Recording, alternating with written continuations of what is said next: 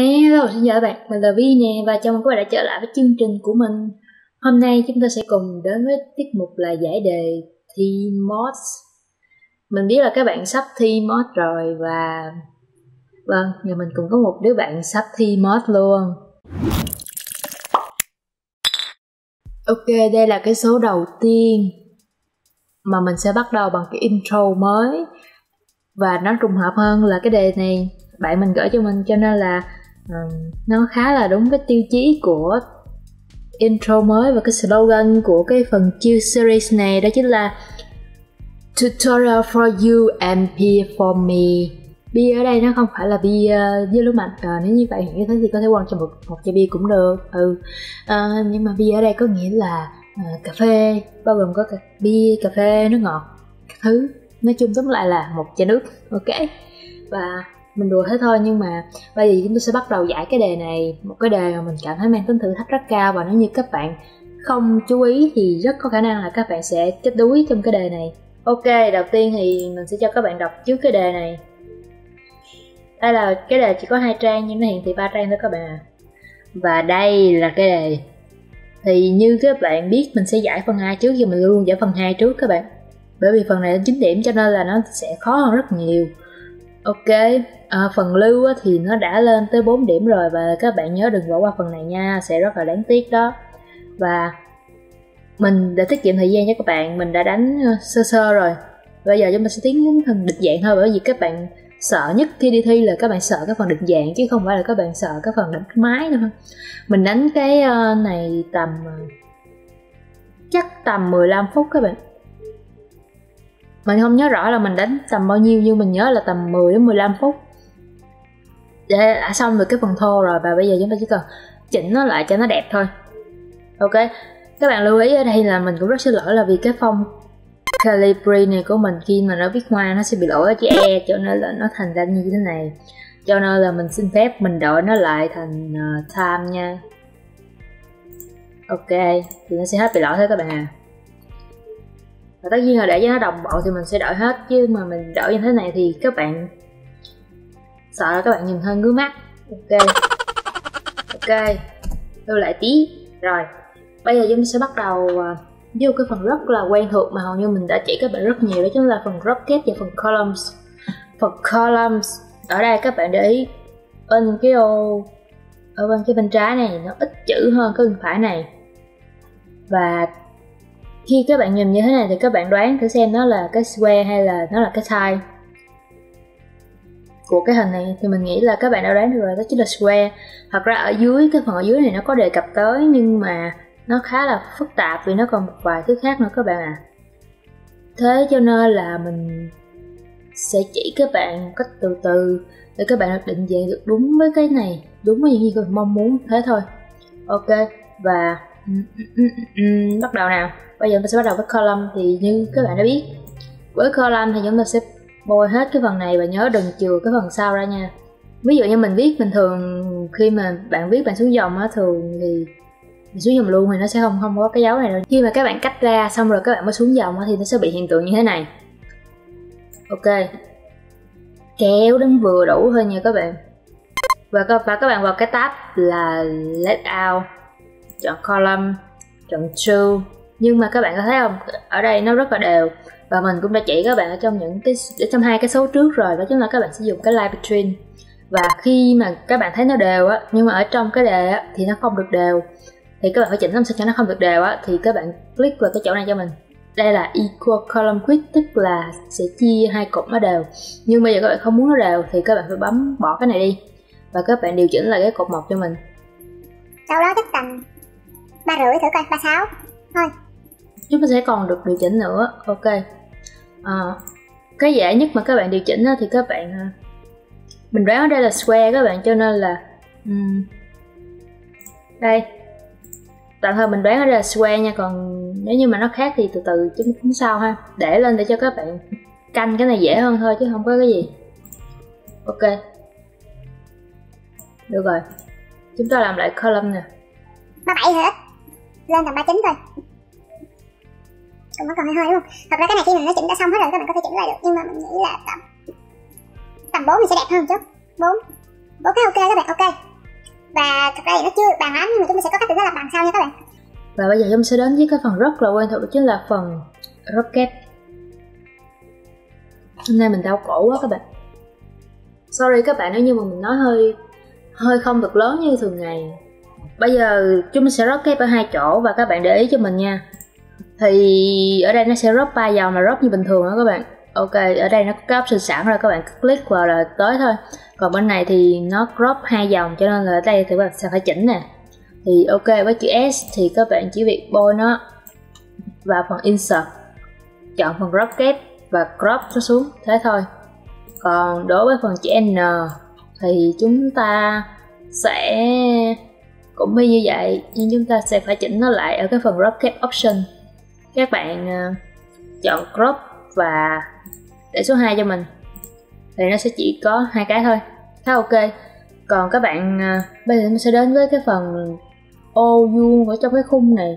Mình sẽ không đỡ phông chữ của cái này nhưng mà mình nghĩ là các bạn ờ, cũng nên biết đỡ phông chữ một chút cho nên là mình sẽ hướng dẫn một lần duy nhất. Ok. Cái phong đúng không các bạn? Đó, các bạn hoàn toàn có thể đổi bất kỳ kiểu nào nếu như các bạn thích. Thật ra cái thật ra cái kiểu đó là cái kiểu ờ, nó gọi là cái kiểu màu mè đó các bạn cho nên là các bạn đó phải nào cái này không được đâu. Ví dụ như cái Talahan này đi các bạn đó các bạn đổi khi mà các bạn thi chưa chắc các bạn đã tìm được cái phong đó cho nên là các bạn đổi ờ, ví dụ như là các bạn đổi làm sao cho nó có cảm giác là ok cái đó là cái chữ ờ, kiểu trong này thì như thế là được rồi các bạn các bạn không cần phải đổi quá là chính xác đâu. Nó tương tự như cái đó là được các bạn. Ví dụ như mình thích cái này nhưng mà thật ra thì phải chỉnh lại cho nó giống. Mình không phải là Tahoma đâu. Mình sẽ tạo ok, ok. Ừ, không giống lắm. Rồi mình ok tạm thời mình sẽ để chữ tách to vậy. Ok. Bây giờ chúng mình sẽ tạo ra cái border shading thì các bạn lưu ý là khi các bạn tạo như thế này xong các bạn nhấn vào cái phần rocket này cái ký tự rocket này nó sẽ ra một cái khung hình ba chấm như thế này thì các bạn click vào nó. Click chuột phải. Chọn border shading chọn phần box cho mình. Và sau, sau đó các bạn muốn tô cái màu á thì các bạn chọn setting. Chọn màu. Hơi tối. Màu cam đi. Ờ, ở không màu vàng đi. Đó, ok. Và các bạn đã xong, đã hoàn thành. Tới cái này. Y chang như vậy luôn các bạn. Border setting. Chọn màu gì đó các bạn thích. Và ở đây là nó có cái style các bạn. Style, pattern style. Thì các bạn có thể để ý. Ok, để mình phóng một chút thì các bạn mới thấy. Chứ mà để như vậy các bạn không thấy đâu to hơn nữa. Đây. To hơn nữa không ta? Mình to hơn nữa, các bạn mới thấy á. Đây nè, các bạn sẽ thấy là cái này nó có sọc sọc đúng không? Thì cái đó nó là của cái style này nè các bạn. Đấy, và sau đó các bạn kéo xuống dưới này nè, nó sẽ có khá là nhiều. Đây. Đó, ví dụ như cái này. Các bạn có thể chọn luôn cả cái colors trong này luôn. Đó. Rồi. Ok. Phóng to xíu các bạn sẽ thấy à. Các bạn ok, mình sẽ phóng một chút đây. Các bạn sẽ thấy còn ờ, trong lúc chấm chắc chắn là giám khảo sẽ phóng lên để xem được cái trình độ các bạn rồi, cho nên yên tâm đi, không sao đâu ha. Và cái có phần rất là quen thuộc mà mình thường xuyên chỉ các bạn ở trong hai video trước đó chính là chúng mình sẽ tạo cái phần quật ạt cho cái này. Và đây là lúc mà các bạn sẽ phải đọc cái đề của ok, chắc chắn là các bạn đã đọc được cái đề này rồi và mình, các bạn cảm thấy như thế nào nhỉ? mình thì à, mình nghĩ là các bạn đọc xong cái đề này các bạn muốn điên luôn á. Tại vì nó khá là nhiều thành phần. Ok, nhưng mà mình sẽ chỉ các bạn là từ từ thôi. Ok, đầu tiên là chúng ta sẽ làm với cái phần là quật ạt hp pavilions này với cái kiểu là fin red asian 2 mate people ok, bây giờ các bạn bôi đen cái này đi, sau đó các bạn vào insert chọn quật các bạn hãy chọn bất kỳ một cái nào mà các bạn muốn nha. Ví dụ như mình sẽ chọn cái này. Đó ví dụ như mình mình mình sẽ chọn cái này nha các bạn. Ok và sau đó mình sẽ vào xếp phim mình đổi nó thành ờ uh, no lộn chỗ. Ok và sau đó mình sẽ vào bên đây và chọn nó thành màu đỏ. Ờ uh, cái này orange. Ủa? Sao nó, cái orange này nhìn giống màu đỏ thế nhỉ đây nha. Đó nó là sẽ là màu đỏ. Và các bạn cứ bình tĩnh nha từ từ cái phần Asian 2 này á khi mà các bạn chỉ vào bất kỳ một cái time colors nào nó đều sẽ ra hết giống như mình nè. Trong đề nó chả nói gì tới việc di chuyển này lên trên cả nhưng mà theo thói quen mà mình đã hướng dẫn các bạn thì các bạn nên di chuyển lên trên. Các bạn nhấn vào cái phần, cái phần nút. Khó chịu quá các bạn. Ok các bạn nhấn vào cái phần nút ở đây. Đó nó sẽ hiện ở phần layout option và các bạn chọn cho mình cái inference state. Ok. Ok. Đây đây là cái khung các bạn cứ di chuyển nó lên thôi để các bạn làm hiệu ứng cho nó dễ các bạn. Ok, mình đã chọn khá là gần giống mà cho nên là nó sẽ đây, chính là cái này nè. Mình đã chọn luôn Asian 2 cho nên là khi mà mình đổi màu thì nó nó chỉ ờ, nhẹ nhẹ vậy thôi các bạn. Các bạn lưu ý như cái Asian 2 này có thể là nó liên quan đến màu sắc, đến style, nhưng mà đa số nó liên quan đến style nhiều hơn. Đó, và đọc tiêu rồi, từ từ. Sao mình cứ hai ba lít nhầm cái này thế nhỉ? Ok, và bây giờ mình sẽ đến với phần là Metal Bevel Metal Bevel yeah. các bạn vào đây. Chọn Bevel cho mình. Mình đảm bảo với các bạn là mình bạn sẽ không tìm thấy cái metal nó đâu cả. Bởi vì nó nằm ở trong phần 3D option. Ok. Các bạn click xuống đây. Mặc định của nó là cái này là metal. Nhưng mà cái này là metal. Đây, standard là metal, ok? Các bạn có chỉ cần kỹ việc chỉnh cái material đó thành metal là được rồi.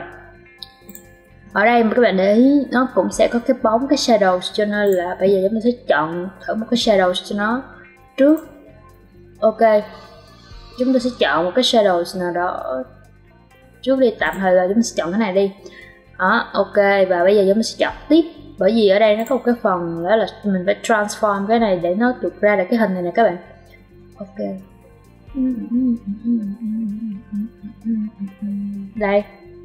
Nó yêu cầu các bạn này effect transform triangle down rồi các bạn. Các bạn click vào cái ô này. Sau đó chọn về phần cái transform. Ok. Các bạn chọn vào cái transform cho mình và các bạn đây. Uh, triangle down.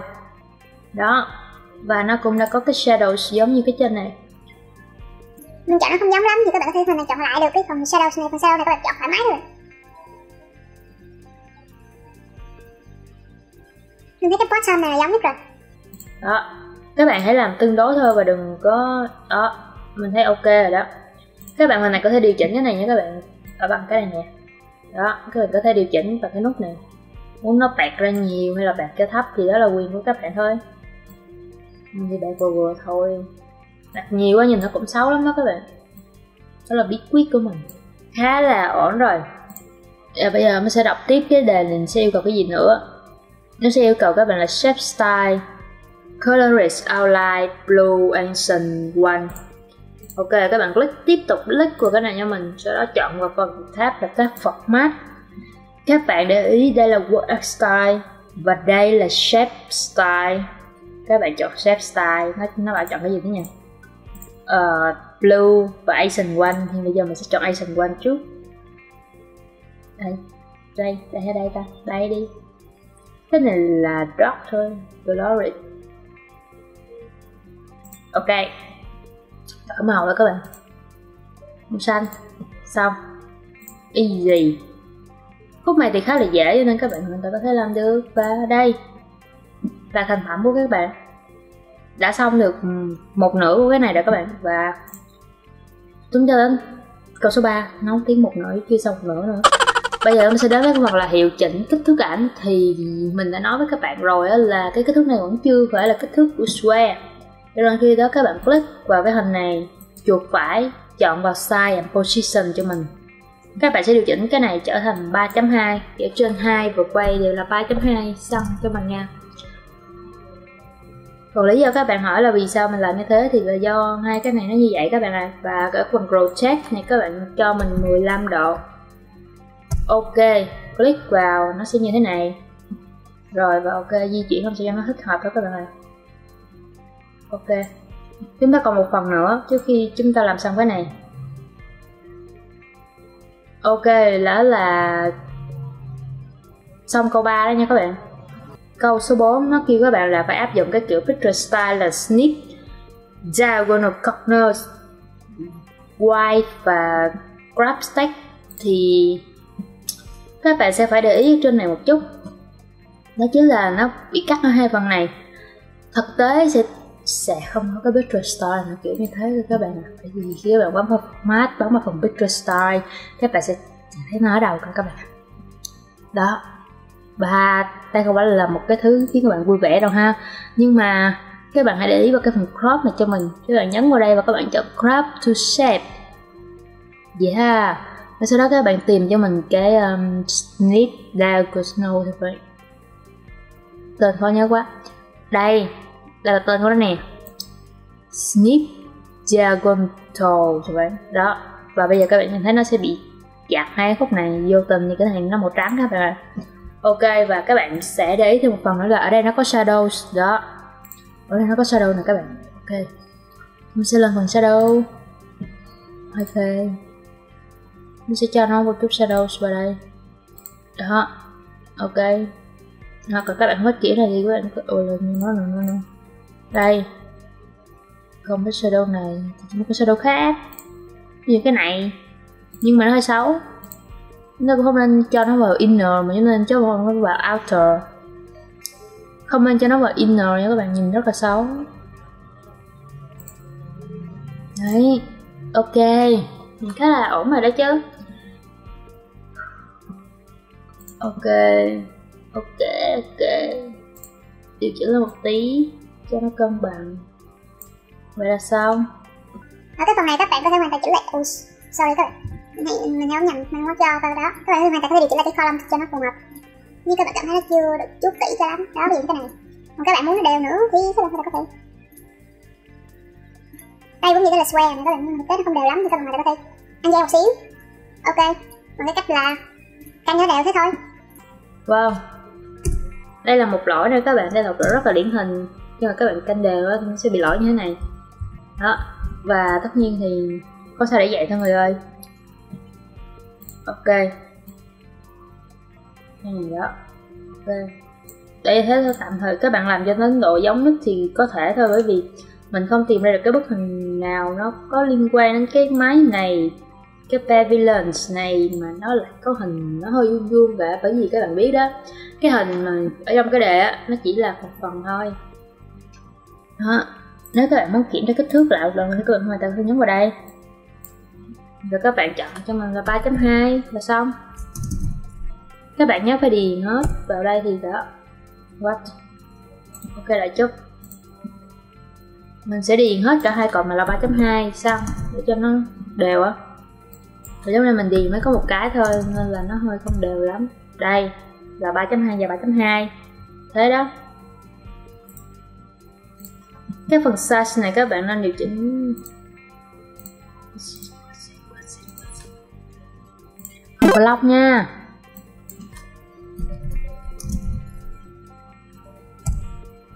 À, mặc dù là các bạn biết đó thì nó có hơi ờ, hơi xấu một tí nhưng mà nó chung quy thì nó vẫn chấp nhận được các bạn là tại vì nó ờ, mình cũng ok.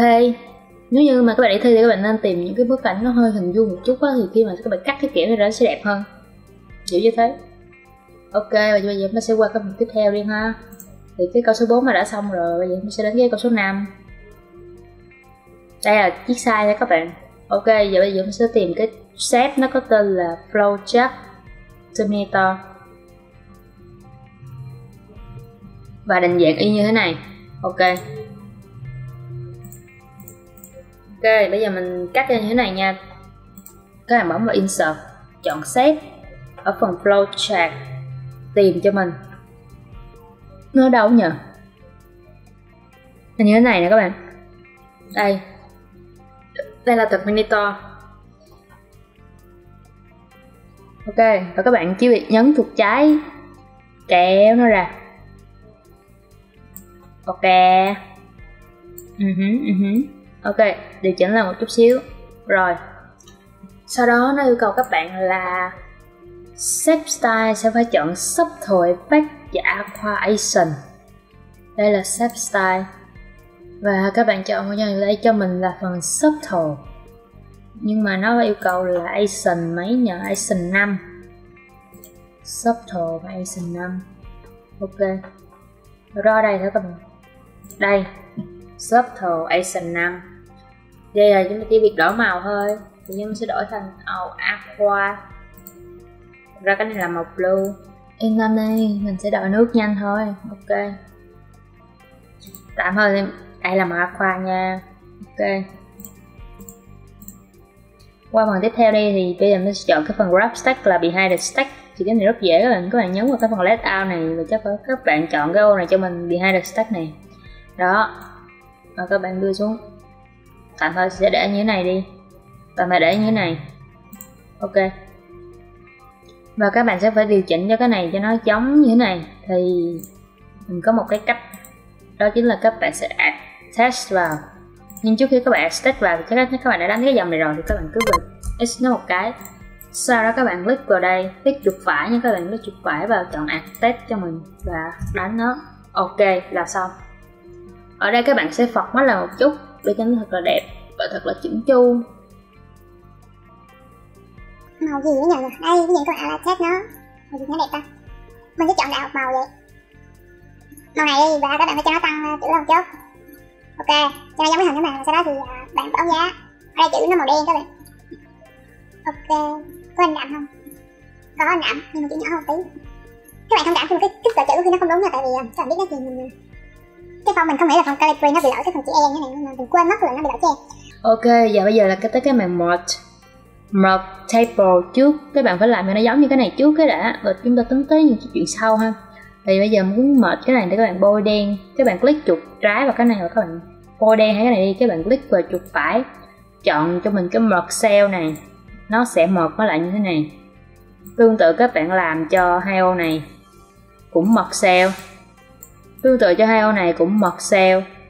Tương tự hai ô này cũng mật cell. Ok và là la la la ở đây thì không mật cell nhưng mà ở trên này thì có mật cell thì các bạn cứ việc bôi cái này thôi. Và chọn mật cell đưa nó ra giữa, khá được, ok. Chỉnh lên một chốt, cho nó ok, cho nó perfect và bây giờ chúng ta sẽ tới ờ, cái phần tiếp theo, đó chính là phần chú thì nó không cần nó cũng khá đẹp rồi và bây giờ các bạn vô đen cái này chọn vào phần let out cho mình. Ở đây các bạn chọn cái dòng này cho mình, ok nếu các bạn muốn nó ở giữa hết thì các bạn có thể, hoàn toàn có thể làm như cái kiểu của mình đã làm vừa lúc nãy luôn. Chọn vào đây và chọn một apply center cho mình. Nó sẽ ra giữa và các bạn sẽ thấy là nó khá là chỉnh chu khá là đẹp cái thứ cái thứ. Các bạn cũng chắc là không quên là mình thì là một người rất là thích sự chỉnh chu cho nên là cái gì cũng vậy cái gì cũng phải chỉnh chu hết. Ở trên này á thì nó không phải là nó gồm bây giờ những cái này nữa các bạn. Ok thì tuy nhiên là mình sẽ ít nó một cái, cắt nó xuống để cho nó trong này. Sau đó mình sẽ mật nó từ từ. Sau đó mình sẽ mật cái ô này lại để cho nó giống với lại cái phần phiên bản ở bên kia và mình sẽ mật xe nó lại, ok. Bây giờ chúng ta, phần ghi chú này chúng ta cũng sẽ mật nó luôn. Xong. Đã ổn, ok. Mình rất là đẹp rồi đó các bạn. Và bây giờ thì những thứ cần in đậm, chúng ta sẽ in đậm. Ok. Bôi cái này đi chúng ta sẽ bôi hết cái phần này. Chúng ta sẽ bôi hết cái phần này luôn các bạn nha. Ok, và nhấn Ctrl B cái gì chưa bôi thì bôi thôi. Rồi đi ok. Là nó sẽ đã đậm. Tiếp tục đi. Sau đó các bạn sẽ thấy là nó có màu ở đây nè các bạn. Thì từ từ nha. Chúng ta sẽ chọn hết cái này nhưng mà trước tiên chúng ta phải đọc cái đề, cái đã để coi nó có yêu cầu cái gì không? Oh staple style. Mình vẫn chưa đến staple style đâu các bạn, cho nên là cứ chỉnh từ từ thôi. Ok. Đây nha. Mình sẽ bôi, ở đây thì nó bôi không được đầu tiên nữa mình sẽ bôi lại sau các bạn. Bấm vào đây. Chọn cho mình cái phần ờ, không không phải border style. Bây giờ chọn màu đi thì, mình muốn cái màu gì bây giờ ta? Ví dụ như màu này đi, hôm nay mình thích màu này. Ok. Đây là cái hãng gigabyte thì bây giờ chắc là chưa mật hay gì đó. Đâu rồi? Ok, đúng rồi, mình chỉ có mật cái này các bạn ạ. Bây giờ chúng ta mật thôi mà cái này khá là dễ. Ok. Rồi các bạn hãy cho nó đi ra giữa đi nè. ok, perfect. Sau đó chúng ta sẽ làm những việc cần làm các bạn. Của cái đề nó yêu cầu. Ok bước xuống nào chọn cái gì đây? Table Style Light Setting. Ok, các bạn nhấn vào cái mũi tên bốn hướng này, các bạn chọn nó, sau đó chọn qua Design Table Style. Ở đây chứ không có đâu. Mình nghĩ là ở đây không có đâu các bạn. Này là Quick Table. Asian Tree đúng không? flash Tree. Ok, live Setting Grid có rất là nhiều các bạn.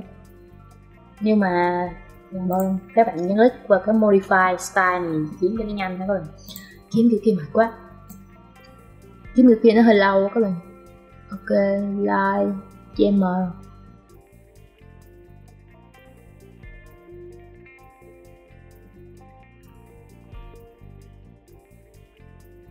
Light setting action 3 ok like shading where?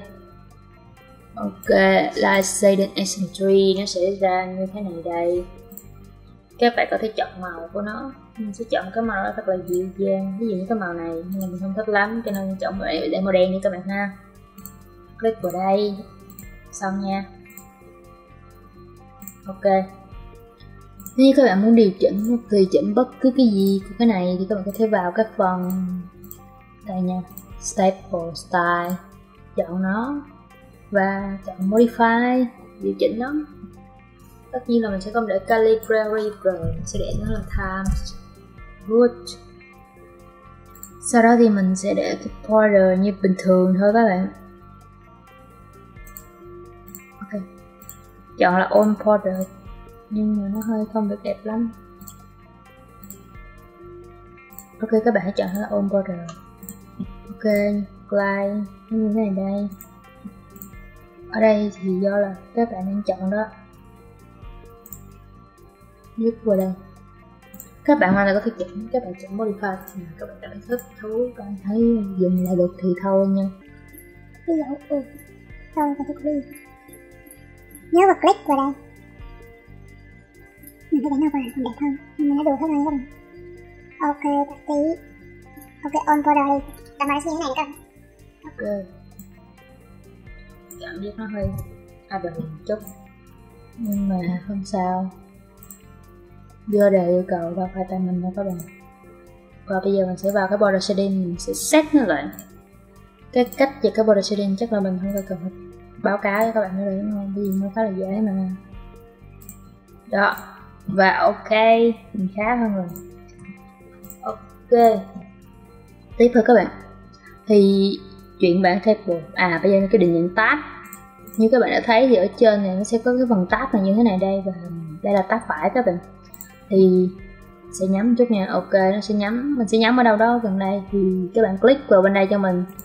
Chuyển qua tab phải và nhắm. Chắc là tầm này hơi xa ừ. cái này được rồi. Rồi ok, các bạn click vào đây. Các bạn nhập cái phần leader là phần số 2 cho mình chọn account mình thường vẫn giữ là cry nhấn ok.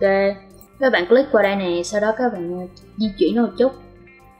Ví như ở đây, các bạn double click và sau đó các bạn chọn leader số 2 cho mình. Rồi ok. Các bạn nhớ là khi mà các bạn ở trong các bạn thì các bạn nhớ bấm phần trong tab nó mới ra nha, và bây giờ mình sẽ nhập số lại nữa. 640 ok ok. Và yeah, bây giờ các bạn có thể thoải mái rồi đó. Để các bạn tiếp tục làm như thế cho mình. Bấm ở đây. Hãy nhắm cho chính xác. Ok ở đây nè. Đó, sau đó các bạn click vào đây. Chọn số 2 leader 2 control tab cái là nó ra thôi. Ok. Thấy làm đây nè ok. Control Tab quên set rồi Leader là số 2 các bạn. Rồi nó tab đi. Rồi, cái cuối cùng. Ok. Ok. Nhớ set cái phần này vào Leader 2 Sau đó chọn Control Tab Xong. Bây giờ ta đặt đều một chút xíu rồi và phần tab như vậy là xong rồi. Các bạn ở mấy cái đề trước mình cũng có chỉ các bạn làm tab mà cho nên chắc là các bạn đã quen rồi. Còn bây giờ thì theo mình kế đi các bạn? Bây giờ nó sẽ tạo một cái custom watermark có tên là most một con Arial Black. Size 120 và đã là đào ok. Most watermark. Đây. Các bạn nhấn một cái tab về size cho mình chọn watermark nhưng chúng ta sẽ chọn custom watermark và chọn text ok, chọn phong là cái gì nhờ? Quên rồi. Arial Black. Ok. Arial Black. Ok. Size bao nhiêu thế? 120 120 test custom study đi nhẹ nhàng one, ok. Let out đâu? Let out no là cái này nè. Ok, chúng sẽ chọn ok. Và chúng ta đã có được một cái mask ở đây. Rất đơn giản. Và tiếp tục đi. Tới câu số mấy rồi? Câu số 9 thì sắp xong rồi các bạn ơi. Đây là tạo một smart art dưới cùng của trang. Đâu? Phần này đúng không? Ok. Uhm, rồi nhập nội dung. Smart act style là instant effect. 5 năm uhm, smart act thì các bạn vào insert. Chọn cái phần smart act chọn in instant effect ờ, là phải đi kiếm mà. Coi nào vertical public. Ok click vào đây. Để nhìn nó ra một vertical ở đây, các bạn à, bấm vào. Nó sẽ hiện luôn cả các bạn type cho các bạn để các bạn đánh là Word Excel thôi. Ok. Word Excel PowerPoint. Ok. Xong rồi. Làm gì nữa? Style là instant? Kích thước là 5 cm 5 cm các bạn bước vào cái phần size cho mình chọn lại cho cái mình chọn lại khúc này cho mình nha là đâu rồi? Năm. Năm xăng mỗi bên mỗi cái đều là năm xăng các bạn. Ok ở phần size này các bạn nhấn enter thôi. Là xong à, các bạn muốn nó di chuyển thì các bạn chỉ cần bấm square thì nó sẽ dễ di chuyển hơn một chút. Đó. Ok. Cái gì nữa? Style instant effect ok. Design in instant effect từ từ nha. Đó rồi mình trả đụng tới cái quật mát này cho nên là đây đây là instant ok kích thước đã chỉnh xong spark size đã chỉnh xong. Bây giờ mình sẽ tạo một cái, cái comment cho cái đoạn là linh kiện main chuyển bản table thành tab rồi cái linh kiện main là cái gì thôi tắt tạm thời các bạn tắt đỡ cái này đi nha các bạn. Khi mà các bạn muốn nó thay đổi cái gì thì các bạn chỉ việc bấm nó lên thôi và ờ, bình thường thì tắt nó đi. Linh kiện mainboard đây à không nha hình như là phải đánh lại. Linh kiện mainboard là cái gì đấy ở trên này mình không hề nhìn thấy cái chữ linh kiện MacPod, ok. Ở đây thì chỉ có tên thiết bị thôi các bạn à cho nên là mình nghĩ là sẽ đánh ra đó. Ok bây giờ mình sẽ đánh chữ vậy. Ok. Linh kiện main post xong nha. Bây giờ nó sẽ add cái comment vào. Ồ ok, add comment vào, chúng ta cũng sẽ vào cái phần review. Các bạn sẽ nhắc vào đây, chọn new comment. Oh style cho nó là tên mình các bạn. Ok, và các bạn chọn cái gì đã? Chuyển bản table hay định dạng tab. Chuyển bản table thành định dạng tab. Ok, được rồi đó và như vậy thôi các bạn. Khi các bạn click vào bên cái chỗ này nó sẽ hiện lên. Đó. Dễ mà. Và lưu ý cho các bạn là hiệu ứng thông số nội dung cần thực hiện nó sinh đậm cho nên là các bạn ok xong rồi thì thôi. Đây là câu 10 các bạn. Xong. Khi mà các bạn có comment như thế này các bạn chỉ vào thì tự động nó sẽ ra như thế này luôn á. Và tên tác giả hay tất nhiên là các bạn có thay đổi trong author của các bạn. Ok. À, thế là sao mà đó các bạn câu cuối là gì vậy? Thêm tiêu đề đầu trang ở kiểu blank tree column với nội dung lần lượt. À, à, à, à. à. mình sẽ chỉ các bạn thêm ờ, đầu trang và thêm chân trang nhưng mà cũng như thế nhưng mà mình sẽ để khác một chút thôi. Thêm vào đầu trang thì các bạn chỉ việc nhấn uh, insert chọn một cái header này cho mình chọn cái blank tree column này cho mình.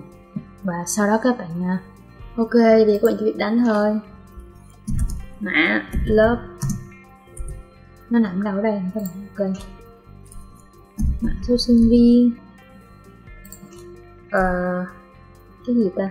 Uhm. hỏi tên. Ok. Close nó đi. Chắc chắn là các bạn chưa nhìn thấy có mã số sinh viên đâu, bởi vì nó nằm ở dưới này mà. Cho nên các bạn phải làm cái thủ thuật. Đó là tạo ra một cái khoảng cách thôi các bạn. Ok enter xuống thôi. Ok ok. Rồi nha còn cái đó thì tí thi các bạn nhớ điền tên role mã slot mã số các bạn nha chứ mình thì biết gì đâu điền. Nói đùa thế thôi chứ mà mình điền cũng được nhưng mà tên các bạn tự điền đi. Tiêu đề chân trang kiểu alphabet và nhập nội dung là mod. Chân trang là cái ở dưới này nè các bạn. Các bạn click insert. Ở đây insert chọn footer à, chọn cái gì ta? Cứ hay quên cái này nhỉ chọn kiểu alphabet đâu alphabet đâu cho chọn sweep very slow motion e on interquest click play play back back oh chữ alphabet rồi. Mo thì bây giờ sẽ có mo đó. Nhưng mà để đi footer coi. Ok. Kiểu alphabet là cái kiểu gì vậy các bạn? Mình cũng chưa biết nữa tại vì trong cái footer không không có. Hoặc là trong cái attention đấy nó nó đã có rồi nhưng mình không có. Ok. Ừ. đó là hoàn thành xong một bài quật phát cả mồ hôi luôn các bạn ạ. Đối với những bạn không biết làm thì cái này chắc là thoát mồ hôi thật. Ok, các bạn nhấn Ctrl S xeo lại. Đi thi các bạn nhớ xeo bài nha. Và bây giờ nó chuyển sang cái phần thú vị hơn là phần số 1 hôm nay mình đặt cách mình dễ hết luôn cái đề này, tại vì nó có hai phần hà. Ok chúng ta lội lên phần số 1 rất là ngắn. Cái này là tạo cho mọi DJ thì cái này các bạn biết rồi nhưng mình sẽ tạo lại cho các bạn thử. Bây giờ mình sẽ nhấn vào download. Click chuột phải chọn new. Chọn folder. Uh, mã lớp. Mã số sinh viên và họ tên. Mình ví dụ thôi ha. Ok mã lớp. Mã số sinh viên. Họ và tên. Ok click. Enter là xong. Và click vào đây các bạn sẽ tạo một cái cây giống như thế này cho nên là các bạn phải nhìn cho kỹ là đầu tiên các bạn thấy những cái mũi tên này là những cái tệp lớn chứ trong đó những cái tệp nhỏ cho nên là các bạn phải đánh những cái tệp lớn này trước. Thì chúng sẽ đánh hai cái tệp lớn là tinh học mod 1 và tinh học mod 2 ok. Tinh học mod uh, một một cái. Tinh học mod hai. Mod hai. Một cái xong nha, giờ bây giờ, ở trong cái này nó sẽ có những cái thư mục con là Microsoft Windows này rồi mod Word 2010 rồi ở mod 2 nó có mod Excel 2010 nè, mod PowerPoint 2010 nè. Thì các bạn click vào tinh học mod 1 trước để các bạn tạo ra hai cái thư mục là Microsoft Windows và mod mod Word 2010 ok, cũng y như công thức cũ. Microsoft Windows. Rồi chọn tiếp theo chọn vô đây chọn ờ, uh, mod rồi Word dạ dạ dạ Word cái ngày mười xong. Chạy ra bên ngoài click vào tinh học mod 2 tiếp tục viết cái phần mod Excel 2010 và mod PowerPoint 2010 đó. Ủa đánh nhầm. Đánh nhầm đánh nhầm đánh nhầm. Rename mới lại tiếp lúc nãy mình viết cái từ mod của mình để cấp block cho nên mình nó hơi nhầm một chút. Tiếp tục. Nhấn vào đây. Mod PowerPoint. 2010 rồi, enter. Xong. Vậy là xong một cái cây rồi. Các bạn các bạn muốn check cái cây này như thế nào thì các bạn click vào cái phần download. Mình đang chứa nó ở phần download và các bạn thấy đó, cái phần này các bạn sẽ nhìn thấy cái mã số sinh viên, mã à mã lớp cái cái tệp này của mình nè. Và các bạn click vào click vào click vào, các bạn sẽ nhìn thấy là nó y chang như cái bên này của cái đề thế thôi. Là nó đã xong rồi đó các bạn. Các bạn đi ăn nửa điểm quá trời dễ. Ok. Câu số 2 là tìm cái file thì đây là cái mục rồi mà mình muốn hướng dẫn các bạn là ở chỗ cái này nè. Ok, các bạn click ra bên ngoài download và các bạn sẽ nhìn từ phía bên tay phải ở bên trên cùng á, thì các bạn sẽ nhìn thấy cái chữ là search download đúng không? Các bạn cứ nhấn vào đây cho mình. Đó và khi các bạn nhấn các bạn sẽ nhấn theo cái cú pháp bởi vì uh, bình thường thì chúng ta chỉ có cái phần mở rộng thôi thì các bạn chỉ cần nhấn là chấm ini là nó sẽ ra rất là nhiều. Nhưng mà ở bên này thì nó có thêm một cái ký tự là ký tự đầu là chữ đúp và phải có cả phần mở rộng nữa thì các bạn à, tiếng Anh của cái phần trở tiếng Anh của phần mở rộng đó, nó có tên là extension còn uh, cái chữ um, tên của cái file đó, nó bắt đầu bằng chữ đất đúng không? Thì uh, tên file là name thì bây giờ mình sẽ kết hợp nó lại thôi bằng những cái phần hàm mà chúng ta có. Thì bây giờ mình sẽ nhấn là chữ e. Ok what? À quên phải tìm trong dpc á, tức là các bạn phải tìm trong cái file odc nó mới có. Chứ ở bên ngoài kia thì chả có gì cả tại vì trong khi nào nhiều có được. Bởi vì các bạn biết đó thì cái file thường những cái file này nó ở trong hệ thống của các bạn. Cho nên khi các bạn đi thi thì các bạn nhớ ra ngoài cái hệ thống ra ngoài cùng á, thì các bạn kiếm nó sẽ dễ hơn. Ok name ok có chữ đúp là được. Và enter. Rồi ngồi chờ hết các bạn. Ui sao mình đã lâu thế? Mình còn có cảm giác lâu quá rồi ok. Rồi đây các bạn thấy không? Win.ini bởi vì vừa rồi lúc nãy mình mới bấm view, giờ mình đã bấm vào cái phần file đây, extension này cho các bạn này. Thì các bạn mới thấy được cái phần này ok, tạm thời ngân ngay đây đi vì đã xong rồi đó. Các bạn chỉ cần lấy hai file thôi mà, cho nên là nó ra bốn file thì các bạn sẽ nhìn phải ngừng rồi các bạn. Và bây giờ mình sẽ tạm giấu cái này đi. Mình nhìn thấy cái đuôi mình hơi ngứa mắt. Ok. Phải chạy lại hả quý ông? Ok. Giả mang con nghe mở lên thì cũng được thôi, nhưng mà muốn mở lên thì cũng được, mà không mở cũng được. Chả là các bạn à, mở lên thì các bạn sẽ dễ tìm hơn các bạn. Mình thấy mở lên các bạn rất là dễ tìm. Ok. Ok, được rồi. Mình sẽ ví dụ cho các bạn. Bây giờ mình sẽ pick hai file này đi. Mình nhấn Ctrl C. Ok. Nó kêu gọi qua đâu vậy? Ok, tinh học mốc 1 ok ok. Uh -huh, uh -huh. tinh học 1 thì chắc chắn vô cái phần này rồi. Ok. Đó phần tiếp theo đi. Sau đó các bạn sẽ ghi là nén hai file vừa chép từ tinh học mod 1 với cái tên là nén chấm ro và lưu vào tinh học mod 2 ok phải. Thật ra là không phải lưu ở trong này đâu. Các bạn mình nghĩ là nó sẽ lưu ở đây. Đó sau đó các bạn sẽ nén thì các bạn chỉ việc chọn hai cái này, click chuột phải, chọn add to a và chọn từ là từ nén sau đó các bạn, ok, là sẽ có phần nén và bây giờ các bạn lưu nó vô thư mục tin học bot 2 các bạn cũng nhấn Ctrl X. Sau đó đi qua tin học bot 2 Ctrl V, vậy là xong. Các bạn đã có bao nhiêu điểm ta? Một điểm trong vòng 2 phút, rất dễ rất rất dễ các bạn và thế là xong rồi đó các bạn. Và mình hy vọng là sau khi mình giải cái này xong thì các bạn sẽ có thêm một chút kinh nghiệm để khi mà các bạn đi thi um, mấy cái phần này các bạn sẽ không bị uh, vướng không bị cảm thấy là tại sao nó chóng mặt như thế. Và chúc các bạn có một um, đêm thật là vui vẻ và ngồi nghe mình giải đề cảm thấy à, không chán lắm. Mà nếu như các bạn muốn tiếp tục mình giải tiếp tục những cái đề như thế này thì các bạn à, nếu như các bạn có đề thì hãy gửi đề cho mình ở à, email mà mình đã để ở phía bên dưới. Và um, mình sẽ tiếp tục giải đề cho các bạn nếu như mình tiếp tục có đề. Và chắc chắn là hẹn các bạn vào ngày thứ hai thì mình nghĩ là mình sẽ dạy Excel luôn. Và ok. À, phần tiếp theo